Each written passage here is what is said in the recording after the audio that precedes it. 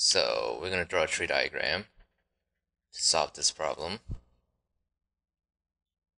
First off, you have first stage, which is picking the urn, and you can have urn A and urn B. Again, I like to separate my stage stages horizontally, and here's the first stage, which is pick urn. And then after that, we have stage two, which is pick ball.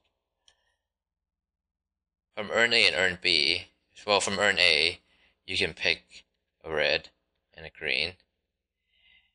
Again, make sure you don't make the mistake of making a third red. That's not correct. Because the branches represent possi possibility of outcomes. So representing a red twice wouldn't, wouldn't give you any additional information. So for B, the same thing. You would just have red and green here. So, and I like to assign probability at the very end after I make the entire tree. Uh, you can assign probability as you go, but that's just, it's just my preference, so do whatever you feel comfortable with. Um, so here, uh, now I've finished this tree, I'm going to start assigning probabilities. Well, you randomly select an urn, so there's a one half chance. You select each, each of the urn and there are two red in urn A, so two third to pick red and one third to pick green. And from urn B, you have one half chance to pick red and one half chance to pick green, since there's three of each. And now we have our sample space, which you have urn A red, urn A green, urn B red, and urn B green. So we are only concerned about the probability of green, which is, oh, this is supposed to be green. So it's this one and this one.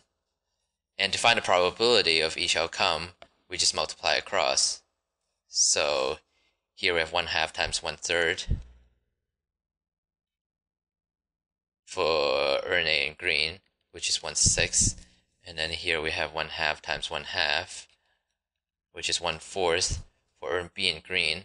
So the total probability of green is the probability of urn A and green plus the probability of urn B and green. And here we add the two because this is a multi-scenario where A green, A green will work or B green will work. So this is uh, A green or B green, so we add the probabilities. So, and so we have 1 6 plus 1 fourth. And we find the common denominator, which is 12. So here we have 212 plus 312, which is 512. And that's our final answer.